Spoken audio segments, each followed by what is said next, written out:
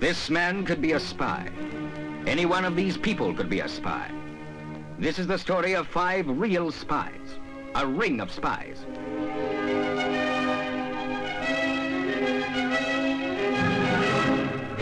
Headlines that made world news. Names that added a shattering new chapter to the records of espionage. How have we got on? I haven't. Nothing? Not a thing. It's no damn good you threatening me either. What kind of people are these who held the safety of a nation in their hands? Why did they do it? How were they caught? Now these questions are answered in a compelling film called Ring of Spies. And never, never has fact so outstripped fiction for daring and for suspense. Listen, buddy, I'm not asking you to do anything. I wouldn't get you mixed up in anything, whatever it was. Well, What are you asking then? Simply to leave the safe door open for a few minutes on Friday afternoon and then go and powder your nose. The truth behind the lace curtains of suburbia. The secrets of treason.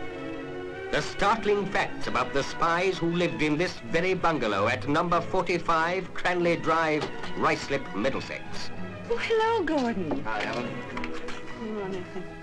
Behind this door were all the tools.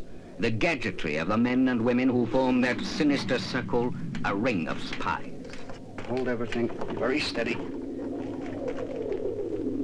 All right. To think of all the great books of the world reduced to a dot, a full stop. How many more of these secret agents roam our cities undetected, unknown? How do you recognize a spy? These ordinary-looking people engaged in that most extraordinary, most hazardous of all professions, spying. Happen. Be a good fellow and give this to Miss Gee to put in the safe, will you? Very good, sir. The man next to you may be a spy.